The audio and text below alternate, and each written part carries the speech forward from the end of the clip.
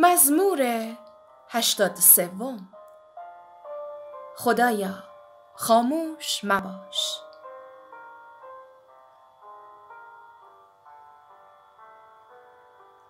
خدایا خاموش مباش.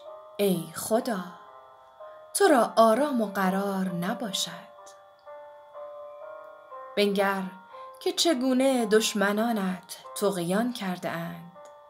و نفرت کنندگانت سرهای خیش را برافراشتند.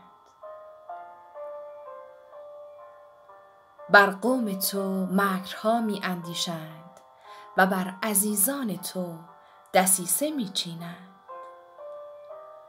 می گویند بیایید نابودشان کنیم تا دیگر قومی نباشند و تا نام اسرائیل دیگر به یاد آورده نشود.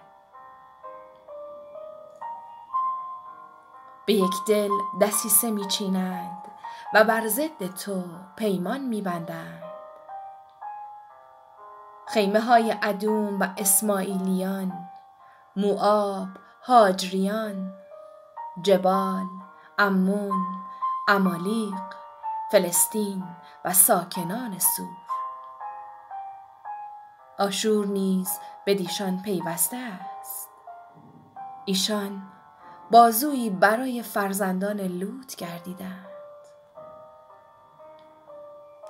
با ایشان همان کن که با مدیان کردی که با سسرا و یابین نزد نهر قیشون کردی که در عین دور هلاک شدند و سرگین برای زمین گردیدند. بزرگانشان را چون عرب و زئب بساز و امیرانشان را جملگی چون زبح و سلمونه. که می گفتند بیایید چراگاه های خدا را به تصرف خود درآوریم. ای خدای من ایشان را چون قبار گردباد گردان و مانند کاه در برابر باد. چنانکه آتش جنگل را می سوزاند و شعله کوه را مشتعل می سازد همچنان به باد خیش تعقیبشان کن و به طوفان خیش به حراسشان افکن